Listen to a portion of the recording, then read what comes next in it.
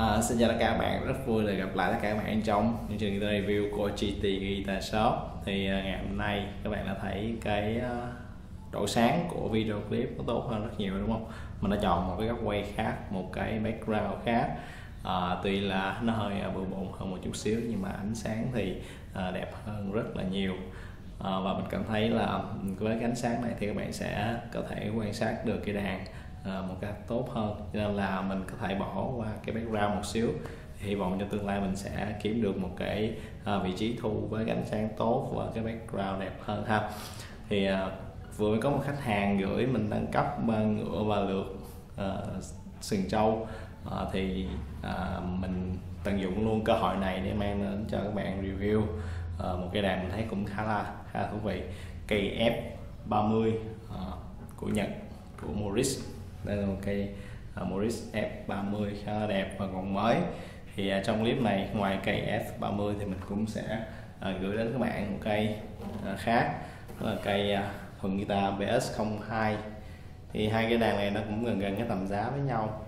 À, mình mang vào để cùng so sánh và à, và giới thiệu với các bạn những cái mẫu đàn mới những cái cái đàn mới ha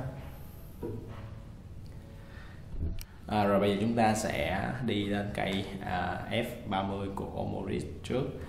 Uhm, thì à, Morris nó có rất là nhiều dòng mà có MD nè rồi F nè à, W nè.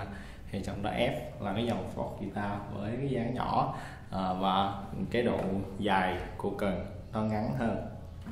Thì mình sẽ giới thiệu sơ về cái F30 này. Nó có mặt top là mặt Sitka Spruce. Tuy nhiên đây là mặt à, gỗ ép ha back and side là Indian rosewood và cũng là Indian rosewood F luôn. Ừ, chúng ta có thể dễ dàng đối với cái đàn này có thể dễ dàng thấy được là cái mặt ngoài của nó là Indian rosewood nè ha. Tuy nhiên là cái mặt trong nó là một loại gỗ khác các bạn nhìn thấy nó trắng nó nó không có vân sọc ha. Phía trong nó là gỗ khác thì cái đàn này rất là dễ nhìn ra được nó là gỗ ép rồi chúng ta có cần là cần gỗ uh, NATO hai mảnh ghép ở nó ghép ở góc cần các bạn nó ghép cần ha. Cần được sơn bóng và khóa khóa zin của Morris. À, phía trước chúng ta có headstock luôn à, ờ, được ốp gỗ cảm ấn và có logo Morris. Fingerboard fingerboard là rosewood Indian rosewood và chúng ta có bridge, bridge là à, ebony. Rồi cái đàn này đã được nâng cấp lên lượt và nửa sừng trâu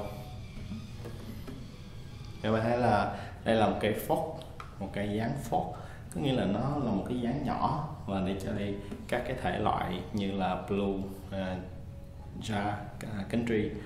Uh, thì cái cần của nó được thiết kế ngắn hơn một chút so với cái cần cần chuẩn. Nó vẫn là 14 phím nhưng mà nó ngắn hơn một chút.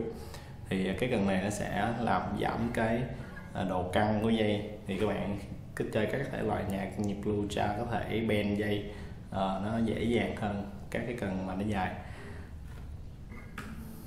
Rồi đây là một cái đàn uh, chuyên dành cho các thể loại nhạc đó.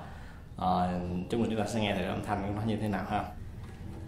Rồi bây giờ chúng ta sẽ qua cây BS02 của thuần guitar ha. Thì đây là một cây thuộc dòng 02 series với dáng đàn là dáng small jumbo small jumbo uh, chữ vs uh, ờ, trong phần guitar được ký hiệu uh, cho dáng small jumbo. Đây là một cái dáng với bụng tròn rộng và uh, đích đạn rất là rất là tròn. So với dáng A thì hoặc nhìn có thể là các bạn thấy hơi giống dáng A nhưng mà bạn chú ý cái phần đích của nó phần bụng nè phần sau bo rất là tròn. Rồi uh, cây BS02 này có back inside chủ đạo của dòng 02 là Sapali đây là gỗ mahogany Bắc Phi. Rồi chúng ta có mặt top là mặt uh, Sky Spruce và đây là một cái đàn on solid wood. Toàn bộ là gỗ thịt ha. Rồi chúng ta có cân là cân uh, à, mahogany một mảnh và chúng ta không có ghép.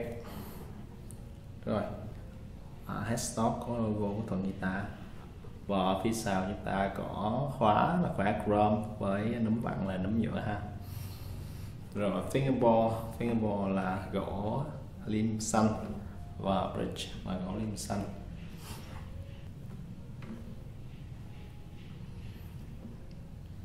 Rồi, bây giờ chúng ta uh, sẽ đi đến cái phần sau demo giữa hai cái đàn này để xem là uh, âm thanh hai cây như thế nào ha.